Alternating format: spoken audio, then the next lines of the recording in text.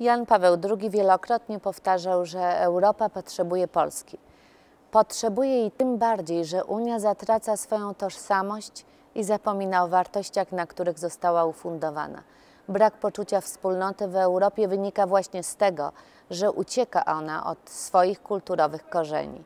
Dziś na własne oczy widzimy, że Unia Europejska potrzebuje głosu eurorealizmu, który doprowadzi do poważnych reform, dzięki którym będą szanowane kompetencje przysługujące rządom państw członkowskich. Gnębiące Europę kryzysy, nie tylko migracyjny, etyczny czy finansowy, ale przede wszystkim kryzys współpracy, pokazują, że Europa potrzebuje świeżego spojrzenia. Takie spojrzenie możecie dać jej właśnie Wy.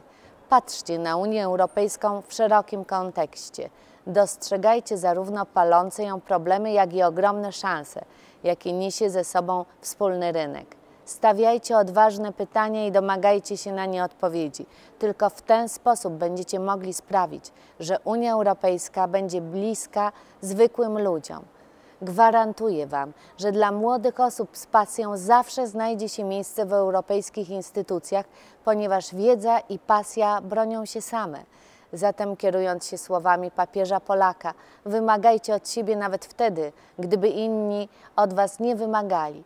Kończąc, pozdrawiam Was wszystkich bardzo serdecznie i życzę Wam tej samej, co u świętego Jana Pawła II, świętej nieustępliwości.